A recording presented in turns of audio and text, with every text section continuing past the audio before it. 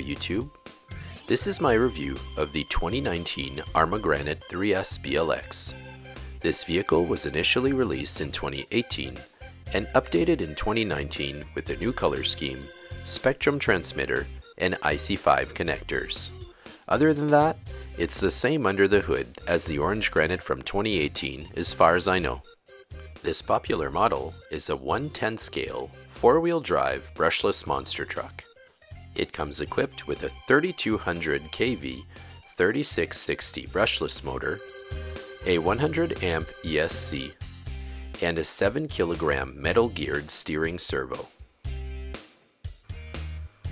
The package includes the truck, radio, a bag of tools and additional C-clips, a technical pack manual showing you how to do basic maintenance, a detailed instruction manual useful for first-time users, and a sticker sheet. The buyer must provide a 2S or 3S LiPo battery and charger. I've read and heard lots of fussing about the Spektrum STX2 radio. As someone with no experience with the previous radio that came with the old Granite, I can honestly say that I can't really find much to fuss about with the Spektrum unit. It comes with all the usual trims and dual rates, as well as a handy 50-75-100 switch that allows you to dial down power for inexperienced drivers. It doesn't have range issues, and I personally can't find much to dislike.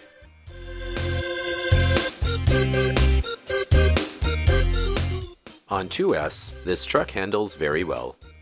It remains composed even at high speeds. Its well-tuned suspension out of the box allows it to bounce along in the grass or on bumpy surfaces while remaining responsive, as long as the front wheels are on the ground. The included Metal Gear servo is very serviceable for bashing purposes. It's a bit slow for racing, but keeping in mind what this truck is and what it's designed for, it's hard to fault it much.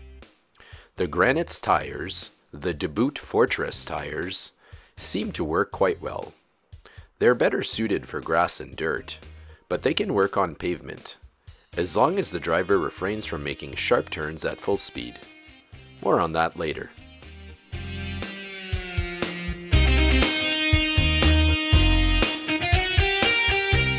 On 2S, this truck is plenty fast for a good bashing session. Hitting ramps at speed will propel the truck 5 feet in the air. Going full throttle will rip apart a loose surface. It may not be a speed demon with these settings, but it definitely still feels like a brushless truck. Those with only 2S batteries should not be discouraged by the 3S in the Granite's name, as it's still loads of fun on 2S.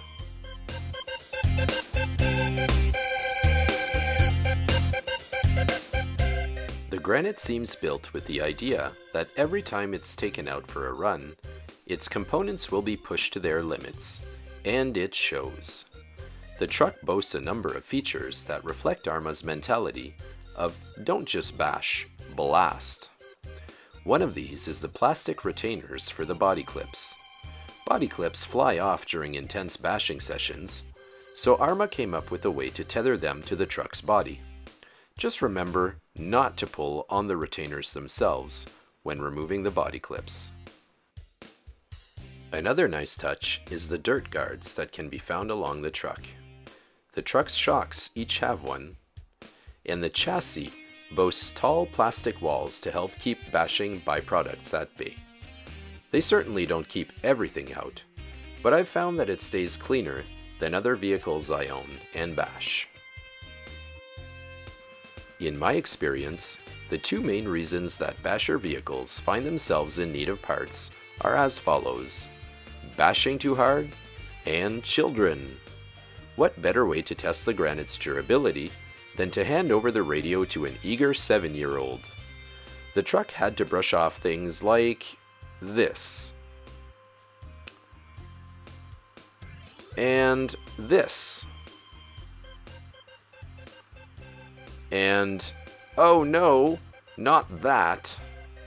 It took it all like a champ and came back looking for more. Quite durable, I'd say. It is noteworthy that my stock servo cooked after about a dozen runs. However, I can't really fault the servo for failing when it did, as I was launching the truck right into the incline of a ditch. Looking at online forums, I found lots of people who wanted to swap the servo, but not so many that needed to. I can therefore conclude that it isn't always an underwhelming component in these trucks. Considering its price, the Granite can be used in many exciting ways. Its brushless motor and large tires make it well suited for some leisurely lawn mowing. Large open fields avoided by smaller vehicles or brushed motors are transformed into ideal environments for speed runs. Just keep out of the wet stuff, as wet grass can cause some of the truck's components to stick, especially the power module. On pavement, the Granite is still a ton of fun. Operating on 2S, it's quite fast and maneuverable. Maybe a tad too fast as a matter of fact, because it will topple over sideways if turned too sharply at speed. If you're going to be racing the Granite, you might want to consider swapping the tires. Clay doesn't seem to suit the Granite's stock tires very well, it's similar to driving it on pavement, but less predictable. Doing laps around an old clay track, I felt like I knew that the granite was going to slip, but I didn't ever know how much. Thanks to the Fortress tire's low traction on smooth surfaces and the irregularity of the track, it was a lot of guesswork. For a completely new driving experience, one must simply take the granite on loose dirt. The thrills quickly become apparent as the truck throws huge rooster tails and starts to slide in corners. This is great fun, but it is also great messy fun. Some gunk is going to be kept out by the dirt guards on the shocks and chassis, but a thorough cleaning after running in the dirt is recommended.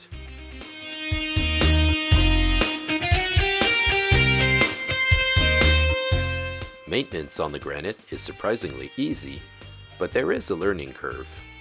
All important components are very easily accessed, but knowing what to do to get to them isn't always obvious.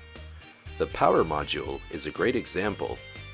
In order to extract it from the truck, first remove a screw right in the center of the chassis.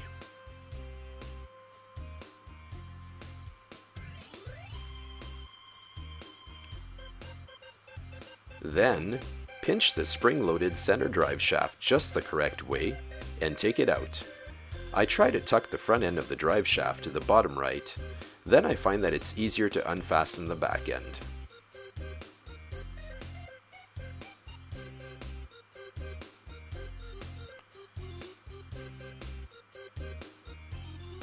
Afterwards, pull down on the red piece holding one of the battery straps towards the back of the chassis.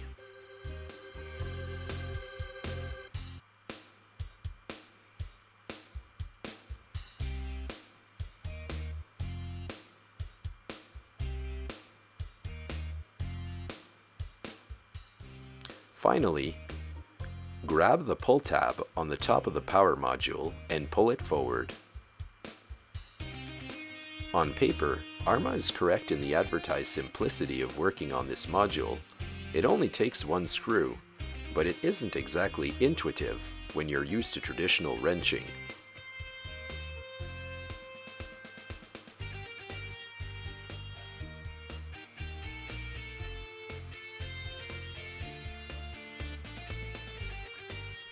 While we're on the topic of the power module, it must be mentioned that Arrma took the guesswork out of setting the gear mesh for the motor pinion gear and the spur gear on the slipper assembly.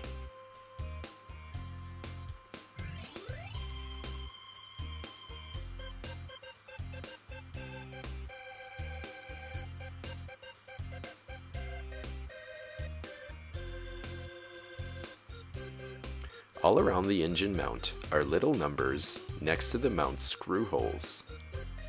These represent the number of teeth on the pinion you wish to install. Simply place the screws in the correct holes when installing a new pinion, and the gear mesh will be set perfectly.